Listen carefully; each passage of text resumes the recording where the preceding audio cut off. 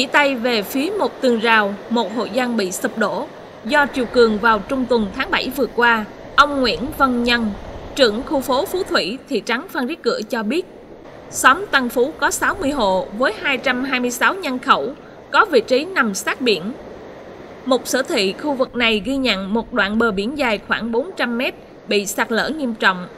Trong đó 12 hộ dân bị ảnh hưởng nặng nề nhất.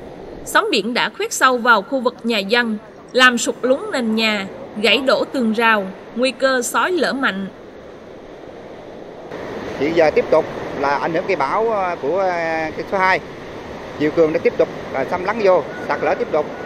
Mà nếu chúng ta không có một cái phương pháp là coi như là khẩn cấp thì à, qua 12 hộ này đã là chuẩn bị để sạt lở rồi mà nếu chúng ta không có một phương pháp nào mà khẩn cấp thì tiếp tục sạt lở sẽ lôi kéo luôn cả một cái dãy nhà trong Trước tình hình đó, huyện Tuy Phong đã cho gia cố cọc gỗ bao cát một đoạn sung yếu dài khoảng 50 m, cao khoảng 3 m nhằm hạn chế tình trạng sạt lở.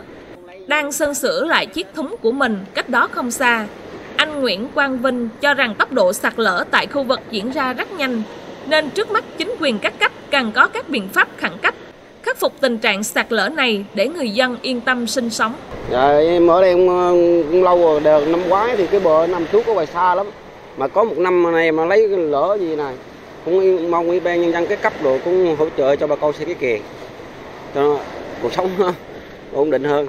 Mấy năm trước á là cái cái cái mùa gió nam á là ở đây nó nó bồi, à, bắc nó mới lỡ. Nhưng mà hiện tượng là năm trong trong hai năm nay á, là nam vẫn lỡ chứ không có bồi. Khi mà một cơn gió vô gì á, là lấy đi mất phải 5 mét. Đó từ từ đây nè vô đây nè là cái cây cây cây gió này là cây gió ờ, đầu, mới mới đầu cây bão đầu tiên á. Là cách đây cũng khoảng ờ, tháng á, là lấy vô 5 mét rồi đó. Thì bây giờ hiện hiện tại giờ là chuẩn bị là nếu mà chiều cường cao là sẽ lấy tiếp nè. Tôi cũng thay mặt địa phương này cũng ờ, mong muốn chính quyền làm cho, trong gấp rút để khỏi tránh cái tình trạng nhà sẽ, nói là nếu mà có một cây nữa là nhà sẽ sập đó.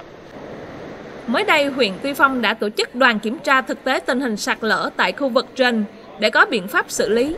Tuy nhiên, thời điểm chúng tôi đến ghi nhận tình hình sạt lở do ảnh hưởng của cơn bão số 2 nên sóng rất mạnh, khả năng sạt lở có thể xảy ra bất cứ lúc nào. Vậy nên kính mong các cấp chính quyền cần nhanh chóng lên phương án và thực hiện việc gia cố bờ biển tại khu vực này giúp người dân sớm lấy lại sự bình yên, không còn nơm nớp lo sợ, đặc biệt là vào mùa mưa bão như hiện nay.